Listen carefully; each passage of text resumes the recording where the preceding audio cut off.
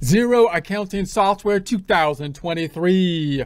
Reversing entry accrued interest. Get ready to become an accountant hero with Xero 2023. First, a word from our sponsor.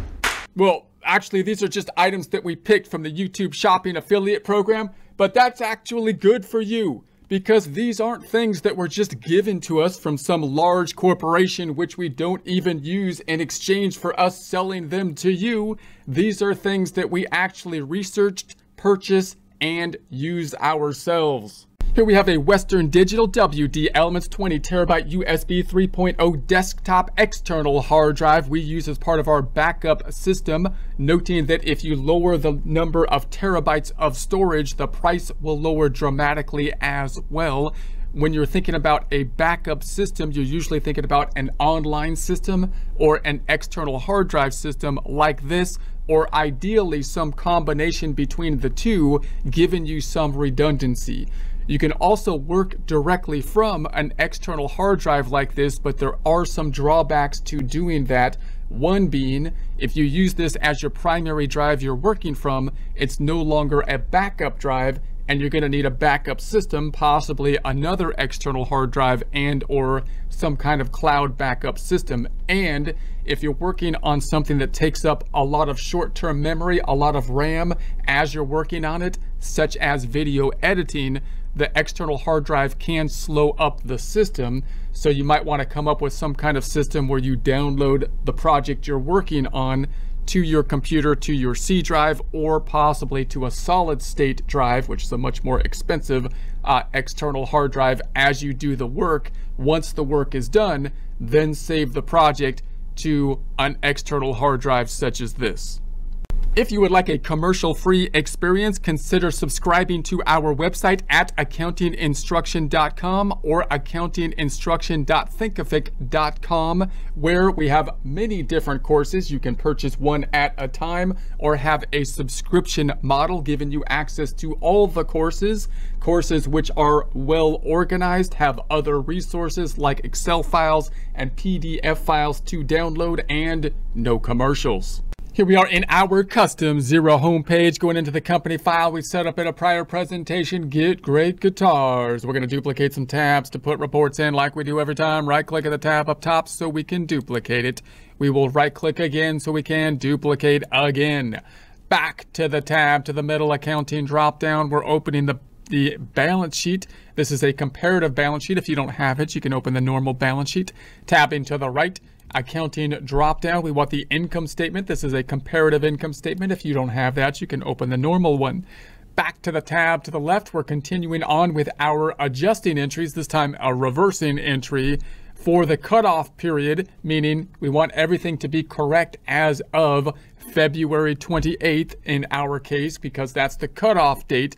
And then we're thinking after that date, is it necessary for us to do a reversing entry?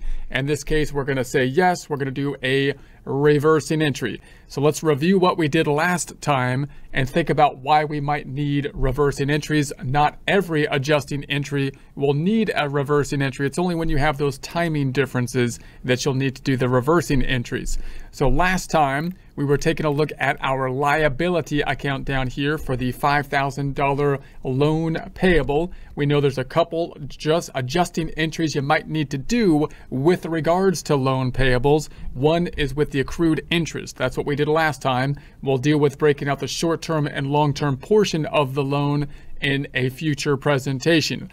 To figure the amount of interest, we came over to our worksheet to do, well, the journal entry, by the way, was an increase in the interest payable, interest that we basically owe, we've incurred, but we're not going to pay until the next payment that happens, which is happening sometime in March. If we go to the income statement, then we recorded in interest expense and expense for the $15 that we have not yet paid, but have incurred because it's kind of like the rent on the purchasing power uh, of the money. So if you rented office space, for example, even if you didn't yet pay the rent, if you use the office space on an accrual basis, you would record the expense. Similar with the interest expense, we use the purchasing power of the money and therefore we incurred the expense. Now the transaction, we made our report over here or amortization table and we looked at the fact that uh, the next payment, according to our amortization table, was 1,764.82, going to be paid in March. But it's for 30 days, and 15 of those days happened before the cutoff date. So when we look at that journal entry, normally the journal entry would be according to the amortization table here, right? This would be the normal journal entry if we didn't do any, if we didn't interfere with our adjusting entry. Then the normal journal entry would be interest expense, debit for the 145.83 on the income statement. The, the loan would go down by the loan reduction, 161899 uh, Two, the loan balance would then result in being at the 3,381.01 and the cash that would be decreased is the 1764.82 on the payment. That is what we would normally record. Now remember, if you're, the other thing I just want to point out is if we're trying to make the recording as easily as possible in Xero, the breakout between interest and principal makes that difficult to do. So for example, you can see the payment is the same. If you make these electronic payments within Xero, that way you're gonna say, hey, it's gonna come through the bank feeds and I can just record the bank feeds as an expense when they come through the bank feeds. But you have a problem and that is that there's two accounts affected, not just one. That's usually not too much of a problem because you might be able to work that into the bank feeds, but you also have the issue that these two accounts over here are going to change at, with each payment. They're not always going to be the same breakout, even though the payment amount will be the same. So you can't really automate the system within uh, Xero on the bank feeds. Uh, so another method that you could use is you could say, hey, look, what I'm going to do is I'm just going to record the full amount, 1,764, to the loan account, which will not account for the interest. And then periodically at the end of the month or year, I'm going to take the amortization schedule and properly adjust the loan amount to the amount on the amortization schedule and record the interest related to the period. That way, the the Xero uh, entries can be entered with just a simple bank feeds that you can memorize transactions and basically automate the process and then do the adjusting entry periodically, possibly at the end of the year if you're just doing the, the reporting for tax purposes. So that could be the most easy automated thing to do. However, the second easiest thing to do is you're gonna have to make these payments according to the amortization schedule. That's what we're gonna imagine we are doing here. This would be the journal entry that you'd have to do for that first payment. But we already did this up top because we needed to pull half of that expense into an expense before the cutoff date, before 228. So that would mean when this journal entry happens, they would have to alter the journal entry, right? So they'd have to say, okay, well, you already have recorded half of the interest last time. So the journal entry, they'd have to do something like this, right? It would have to be interest expense would have to be equal to the 145 minus the amount that we recorded last time, this amount, and then we would have the loan payable or the interest payable was increased and last time so it would have to go back down with a debit. And so that would be the interest uh, it would be like this debit. And then I'd have to record the loan which would would still be the same of this amount, and then the cash would be the negative sum of that. So same kind of journal entry, except I'd have to break out the the uh, the interest expense and reduce the payable account to make up for that 145.83. But this is a tedious transaction. You don't you don't want the bookkeeper to have to do that. You don't want the bookkeeper to have to change things up. Uh, the other thing you could do is just say, hey, look, just record it according to your normal transaction here and just leave that loan interest payable on the books and then we'll deal with it when it comes around again uh, next time and we'll just make an adjusting entry so we don't have to reverse it in that case as well. But we're going to reverse it here. We're going to say, hey, look, let's reverse it so this doesn't mess up the account. We put it on the books and we're going to reverse it as of the first day of the of the next time period so that the accountant can just record this transaction the way they would normally do it. All right, so if I go back on over here and we could say let's go into the transaction we did last time. I'm gonna go to the first tab here and I'm gonna go into that journal entry by going to the accounting and open up the balance sheet report and I'm gonna drill down on it so that we can see the actual journal entry that we put in place. So I'm gonna enter here and then I'm gonna go into the interest, uh, the interest payable, which is a liability down here. Where did I put it? Donde, there it is. So there's the interest payable. I'm gonna drill down on it to the source document, which is of course a journal entry type of form. And so then we can go into the journal entry. Let's drill down onto the journal entry. And so here's the journal entry. Now, if I wanted to adjust this, I can hit the drop down up top and say that we want to repeat, reverse, edit. I'm going to edit the transaction. And I, and I want to point out that normally when we did the adjusting entry, uh, they had this reversing tab. Now it's disappeared. They don't have it anymore. But there's a reversing tab when you first enter the journal entry. And so you could automatically reverse it when you put the entry in if it's a reversing entry, which is pretty neat. The other thing I want to point out here is that you might actually want to look at this transaction to see the debits and credits so that you can reverse it exactly. Now note, when you reverse the transactions, uh, sometimes people get a little bit mixed up on, on what the best way is to reverse it. And let me just show you what I mean. Uh, if I go over here and notice that by natural, naturally for debits and credits, I usually put the debit on top. That's what you're supposed to do. That's like the normal process. Uh, but but if that if it's easier to see by putting the credit on top, then my recommendation is that's what you should do. So if I I'm gonna format this by going to the home tab, format and make a skinny M. And let's just do the same transaction. We could say this is going to be the same here, debit, credit. Let's format this black and white and center home tab, font or alignment, center, font, black, white. Let's center it, alignment, center. And then what I'm going to do instead of reversing it, instead of saying I'm going to put the debit on top like this, uh, or whatever, and then like this.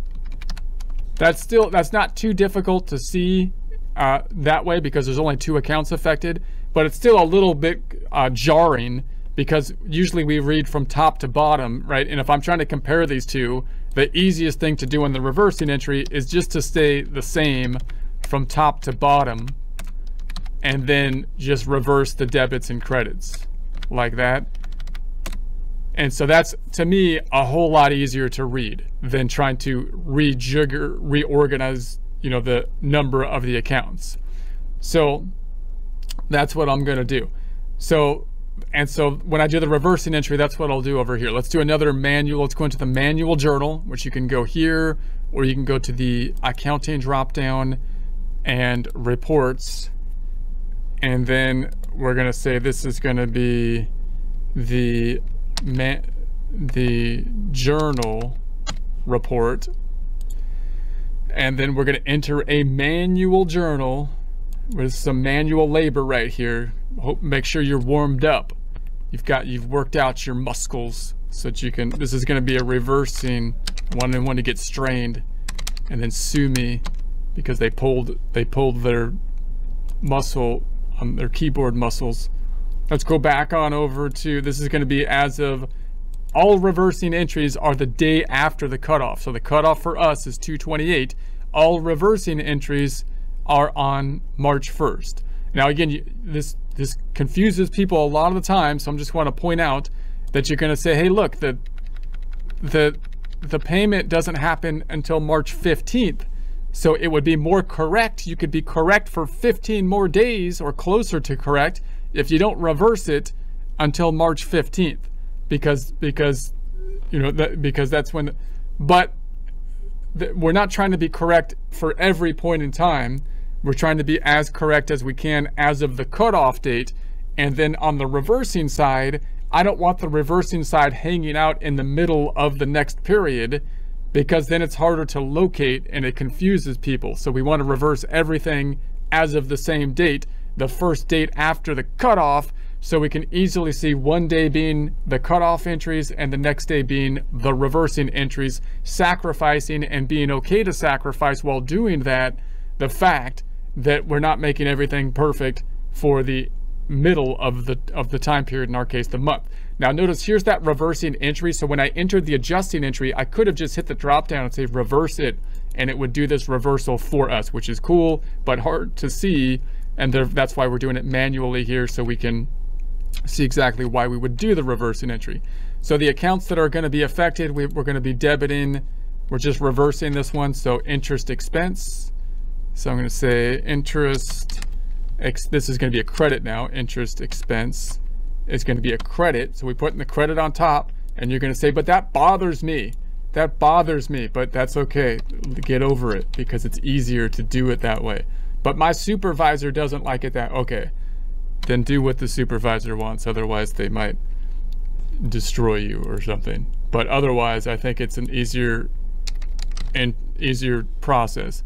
And then we've got the interest payable here, the loan and this is going to be a debit.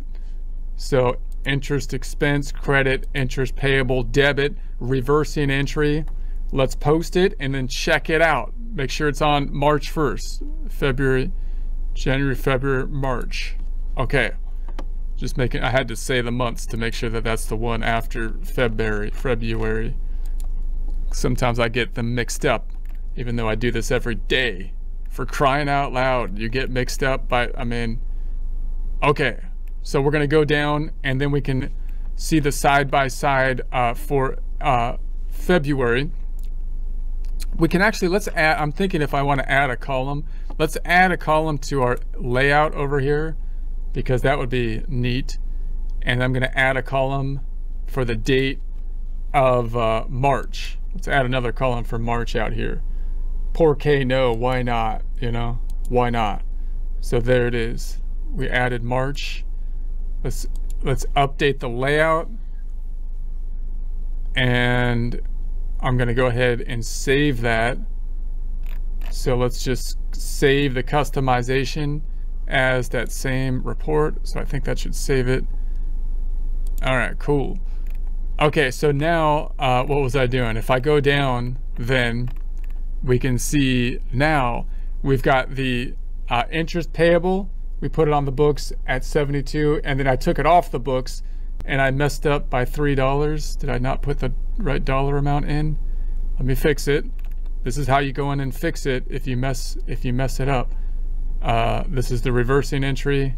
Let's drill down on the reversing entry and let's uh, let's edit that and put the proper dollar amount in, which is 72.92. 72.92. I don't even know what you did there. How did you do that? It's not even a dyslexified thing. You just did something. It's just like a whatever, like whatever, dude. I, that's why we have the double entry accounting system so we can check the, the thing, you entered it right. So let's go back down to the balance sheet again and check it out. And then we'll scroll down and we can see now uh, that we have the interest we put on the books and then we took it we took it off the books. So so now we took it off the books for the first day after. So if I go into the detail and we check out the detail here, drilling down to the source docs, uh, this is going January through March, perfect. So we put it on on the books with a, a credit and then we took it off on the first day after, even though the payment isn't actually happening until the middle of March. And then when the payment happens in the middle of the March, uh, it'll it'll it'll look like this. They can just do the normal journal entry and not have to deal with the fact that that payable is on the books, because if I look at the balance sheet now, the books look like what the bookkeeper, if we think of the bookkeeper as being separate than the adjusting department, is doing, right? The bookkeeper is saying, okay, I don't have any interest payable messing me up, whatever. And so if I go to the tab to the right and update it here, let's add another column for February again, because that's cool to do. I'm going to edit this thing and add another column, another column, date column, and this is going to be March. I mean, we already have February. This is March adding March. And let's customize that and let's save the customization. So we have it there next time as well. All right, so now we can say that we have interest down here. So we had uh, interest recorded and then we reversed it. Now this should look fun. This should look uh, kind of funny here because this is actually a, an increase. This is this is increasing net income. Uh, and it should be it's down here it's not an expense it's a it's it's kind of flipped because this is the other income and expense area. So this is actually looking it's acting like revenue and it's an expense. So that shouldn't be that shouldn't be the case. That will look funny. And notice the accountant if you do this the the accounting department will say that what did you do? There's something that looks funny there because now I've got this thing hanging out there. But if they record the normal transaction as of April April, it will be correct. Meaning, for example, once we hit this point where they're going to record this transaction, what are they going to record? They're going to record a debit to interest expense of 145.83. When they do that, it will net out against this amount to give us the proper amount recorded in the second month, which is 72.92. So it will then properly break out and between the two periods if we use this method without having to change the method of what the accounting department is doing when they record the transactions. But you have to kind of understand that so that when people ask you why is that there, then you can kind of explain, well that will that's the adjusting entry is going to make sense after you do the the entry at the end of uh, or or when the next payment is due, March 15th in this case. So now you can see what happened is we recorded the manual entry uh, that put it on the books. We can't see the manual entry because this is just March. Let's bring this back to Feb. Uh, Feb, we can do just Feb 28. So then we can see we put it on the books before the cutoff date. So now we recorded the proper interest expense and then we reversed it after the cutoff date so that we can make the financial statements as of Feb 28, the cutoff date, and then after we reversed it, which results in, if we run a report just for March, something that's not quite right, right? 72, you, are showing like a, a negative expense account as of just the month of March. But it will be correct when they record their normal journal entry, in this case, in the middle of the month on March 15th, and they record the full amount of the interest expense, 145 83 because it'll net out to half of it being recorded in March, right? That's the that's the idea of it. Okay, that's what the reversing entries do. They're an attempt not to mess up the bookkeeping department so that you can do your adjusting entries and tweak everything to be perfect as of the cutoff date for financial reporting purposes, either for external reporting or for taxes, and still not mess up the bookkeeper as they move forward with their internal uh, reporting purposes. All right, so let's uh, let's now open up our reports. I'm let's look at the journal report. I'm going to right click and duplicate, and let's open up a journal report to see the journal entries we've been creating thus far. I'm going to go to the accounting dropdown reports and open up a journal, the journal report. This is my journal of activities. Uh, some people like to write it down, write their journal with like prose text but we this is what our journal looks like. Add a new journal. Well, no, I'm not adding a journal. What are you doing? What are you doing? We're looking at the report here, and let's make this as of uh, the date, custom range, and let's make it as of March 1st. So we had a reversing entry as of uh, March 1st. Boom. And so now we can see our uh, reversing entry. It's a manual journal entry. We can also say that we just want to see the manual entries up top. And so we can see just our reversing entry there and we can generate this report. And remember the reversing entries can be identified because they're always going to be the day after the adjusting entry, the day after the cutoff, the day after 228, which is in our case, March 1st, because there'll be journal entries and because there'll be manual journal entries, and because we're going to post in the description that this is a reversing entry. All right, let's also open up a trial balance. I'm going to hit the drop down up top, and I'm going to go down to the reports again. Now, I'm going to make the trial balance for the whole year this time because this is the reversing entries are included uh, in March. So we changed something after 228 after the cutoff date. So let's go, let's go to the drop down and just say, we'll just say custom 2023, the end of it. I'm just going to say the whole year. And so this is where we stand. If your numbers tie out to these numbers, great. If they don't, then the things that we changed this time were, of course, the uh, the payable account. And where's that payable account? Where's the pay? Oh, it's gone now because we made it down to zero. and then the interest expense account. Those are the things that we had uh, a change to. And remember, it's not a change as of 228. We made it after 228. That's why we're running the report for the year.